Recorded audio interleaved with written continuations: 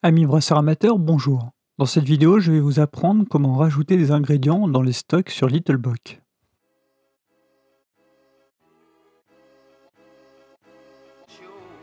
Pour ce faire, il faut aller dans le menu de gauche dans l'onglet Stock. On va commencer par rajouter manuellement du malt, 5 kg de Cara Ruby que l'on trouvera sur Saveur Beer ou Rolling Beer par exemple. Le malt que je prends provient de la malterie du château. Et j'ai la fiche avec ses spécifications. Je peux alors rentrer le nom, la malterie, l'origine, ici la Belgique, ainsi que sa couleur et son rendement. Si besoin, je complète les informations par les notes qui me semblent utiles. Une chose que j'aime bien faire dans mes maltes, c'est rajouter à côté du nom sa couleur et sa part maximale dans un brassin. Dans ce cas, c'est 25%. Cela me permet de le voir assez facilement au moment de créer ma recette. Voilà, mon malt est enregistré dans mon stock. Maintenant, je vais rentrer un malt, 10 kg de Volcatoref 100 qui provient de la malterie des volcans en Auvergne. Et cette fois-ci, je vais le faire à partir de la base de données commune.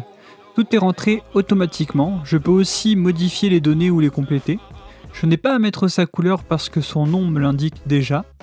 Par contre, je peux voir sur le site internet de la malterie du volcan la part maximale à utiliser pour ce malt.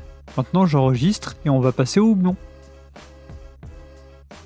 J'ai 250 g d'Amarillo que je vais rentrer par la base de données commune.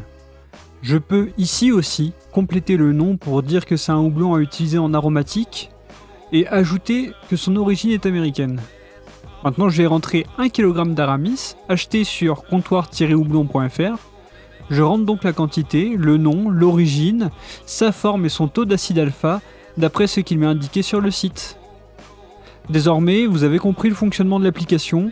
La levure et les divers sont basés exactement sur le même principe. Dans les divers, vous pouvez rentrer tout ce qui est épices, clarifiants, adjuvants et herbes aromatiques. Voilà, on a fait le tour des stocks. Si vous avez des questions ou des suggestions, n'hésitez pas à laisser un commentaire ou nous contacter sur les réseaux.